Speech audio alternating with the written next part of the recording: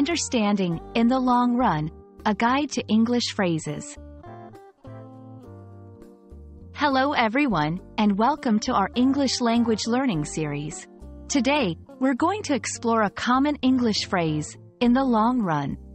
This phrase is widely used in both formal and informal contexts, and understanding it can really enhance your English comprehension and expression.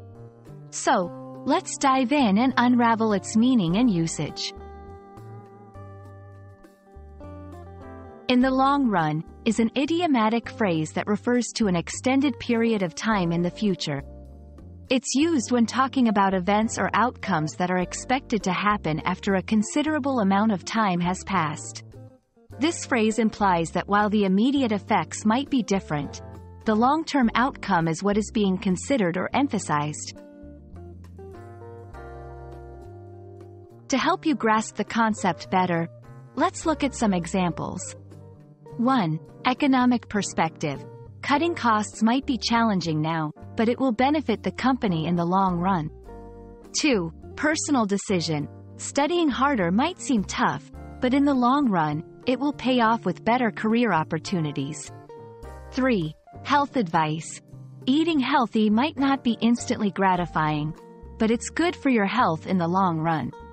These examples show how the phrase is applied in different contexts, emphasizing the importance of future outcomes over immediate satisfaction or results. Understanding synonyms can also help you recognize the same idea in different words.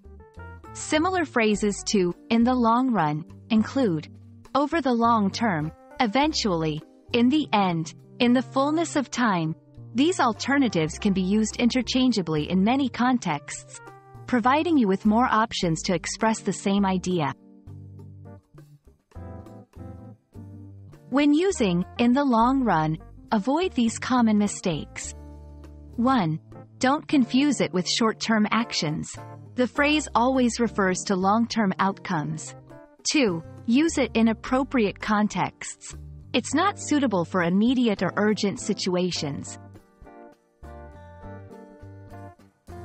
I hope this video has helped you understand the meaning and usage of in the long run. Remember, mastering phrases like this can greatly improve your English fluency and comprehension. Keep practicing, and you'll see the benefits in the long run. Thanks for watching, and see you in our next lesson.